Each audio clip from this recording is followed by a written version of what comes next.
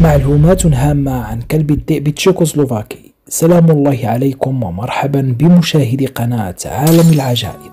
الذئب التشيكوسلوفاكي هو نوع غير عادي للغاية من الكلاب التي لها مظهر الذئب وشخصية جندي حقيقي يخدم بإخلاص سيدة. بحكم صفاته يعد الذئب حيوانا شديد الخطورة له مظهر مشرق للغاية. هذا لا يعني أن هذا الصنف شائع للغاية خارج أراضيها الأصلية. ومع ذلك فإن الذئاب التشيكوسلوفاكية لديها جماهيرها الموالية. أين وكيف جاءت هذه السلالة؟ أول مربي نجح في الحصول على فضلات من ذئب وكلب كان كارل هارتز. بفضل تجربته غير العادية تمكن هذا المتحمس من إثبات أنه يمكن أن يولد هذا الهجين بغض النظر عن هوية الأم والأب في زواج مختلط. بالإضافة إلى ذلك كان كارل هارت أول شخص لم يكن لديه أي غرض بعد العبور للحصول على مقاتلين كلاب مناسبين لخدمة أو أداء مهام معينة. كان الغرض الوحيد من هذا المربي هو جلب سلالة مشرقة وجميلة مع مجموعة من الصفات معينة. وقد قام بإنتاج سلالة جديدة من كلاب الراعي ال shepherd بتهجينها مع سلالة الذئاب تدعى بالكارباثيان. ونتج عن هذا الهجين سلالة وولف جديدة وكان ذلك في عام 1955 وكانت هذه السلالة من الكلاب تحمل صفات الأب والأم. وظل هذا التهجين مستمرا إلى أن تم الاعتراف دوليا بهذه السلالة من الكلاب من الجمعيات الدولية للكلاب في عام 1985 المظهر العام لهذه السلالة. إن كل من بنية وشعر كلب الذئب التشيكوسلوفاكي يذكرنا بالذئب حيث يصل ارتفاع الذكر إلى 65 سنتيمتر بالنسبة للذكور و60 سنتيمتر للإناث ويبلغ وزن الذكر 26 كيلوغرام وللإناث يبلغ 60 كيلوغرام وللعيون غالبا ما تكون براقة وأذن الكلب تكون مثلثة وقصيرة تشبه أذن الذئب وهذه من أبرز علامات هذه النوع من الكلاب ويكون العمود الفقري مستقيم وقوي في الحركة وتكون الخاصرة قصيرة وتكون منطقة الصدر واسعة ويكون الجزء الخلفي لهذا الكلب قصير ومنحدر. ولون شعر الكلب الذئب التشيكوسلوفاكي يكون لونه أصفر رمادي أو فضي رمادي. ويكون الشعر في الوجه خفيف نسبيا وتكون حركة هذا النوع من الكلب متناغمة ويسير لخطوات بعيدة. خصائص كلاب الذئب التشيكوسلوفاكي. إن أكثر ما يميز كلاب الولف أنها تجمع بين صفات الذئاب الضارية وذكاء الكلاب ووفائها. فهي حيوانات حيوية ونشيطة دائمة التجول واللعب شجاعة قادرة على التحمل وسريعة التعلم. يمكن تدريبها بسرعة وهي تمتاز بولائها التام لصاحبها وانصياعها التام لأوامره الموجهة إليها كما أنها سريعة الانفعال لكنها لا تهاجم دون وجود سبب يستدعي ذلك وهي دائمة له ومحبة جدا للعب مع الأطفال. بالنسبة لمزاج الكلب كلب الذئب التشيكوسلوفاكي يعتبر سريع وله حيوية ونشاط وشجاعة لكن هذه النوعية من الكلاب خجول بخلاف نوع كلب الذئب سارلوس. وهذا خطأ كبير في إعلان أهمية هذا الكلب. والكلب الذئب التشيكوسلوفاكي يعتبر له قدرة عالية على تطوير العلاقات ليست فقط مع أصحابها لكن مع أفراد الأسرة جميعا. ويمكنها أن تعيش مع الحيوانات المنزلية الأخرى. لكن عند تربية للجراء لا يجب تركها منعزلة في غرفة وحدها وهذا له تأثير على نفسية الكلب.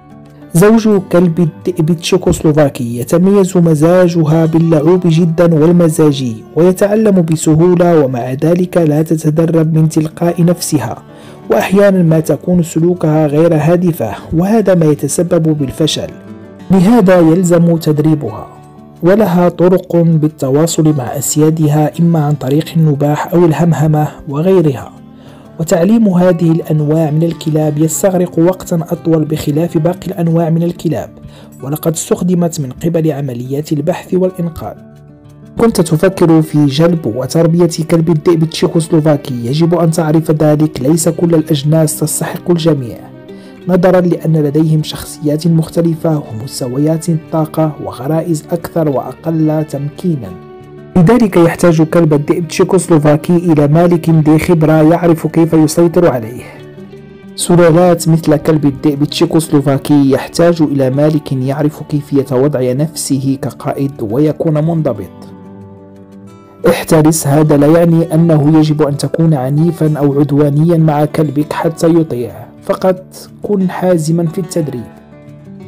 وإذا لم تكن كذلك فإن هذه الكلاب في نهاية المطاف سوف تتجاهلك. إذا كنت لا تضع نفسك كقائد وهذا ما تريد تجنبه بالطبع. وأيضا هذا الكلب يميل إلى اختيار أحد أفراد الأسرة كزعيم وقائد. وإن اختارك سوف يكون لديك صديق عظيم مخلص وذكي وسهل التدريب. ولتحقيق ذلك استخدم دائما التعزيز الإيجابي.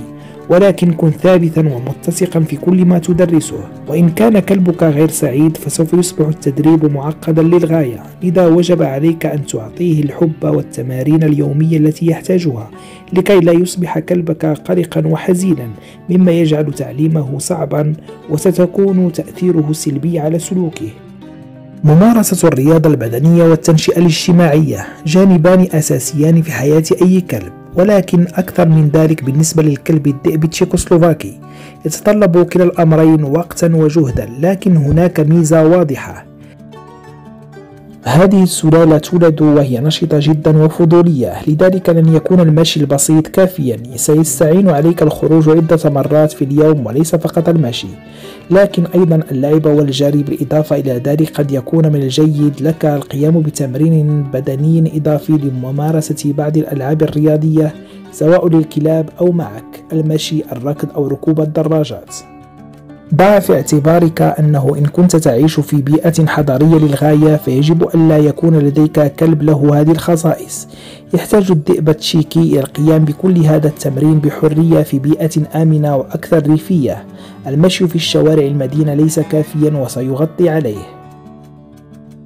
أما التنشئة الاجتماعية بعد شهرين وعندما يكون لديك كل اللقاحات يجب أن تبدأ التفاعل مع الأشخاص والحيوانات الأخرى. ولكن كن حذرا. يجب عليك اختيارهم جيدا. فكلاب الذئاب التشيكوسلوفاكية لا تقبل أي شخص. يمكن أن تكون مشبوهة قليلا. كلما بدأت في إظهار التنشئة الاجتماعية كشيء إيجابي سيكون من الأسهل كبح تلك الغريزة لحماية الذات. تدريب الكلب التشيكوسلوفاكي. هذه الكلاب هم أذكياء للغاية فضوليين ولديهم ذاكرة كبيرة. لذلك لديك القدرة على التعلم ولكن إن كانت دورات تدريبية طويلة جدا أو متكررة فإنها تميل إلى الشعور بالملل وتفقد الاهتمام. من الأفضل أن تفعل جلسات قصيرة وتقديم تحديات جديدة كما تعلم الأوامر. بالطبع سوف تضطر في من وقت لآخر إلى مراجعة الطلبات التي تعلمتها منذ فترة طويلة حتى لا تنساها. ولكن لا تتركها لفترات طويلة. هذا الكلب يجب أن تشعر بالفضول المستمر. لذلك عليك أن تقدم ألعابا ومحفزات جديدة. وإلى هنا نكون قد أنهينا حلقتنا لهذا اليوم وإن نراكم في حلقة جديدة. لا يسعني إلا أن أشكركم على حسن المتابعة. دمتم في رعاية الله وإلى اللقاء.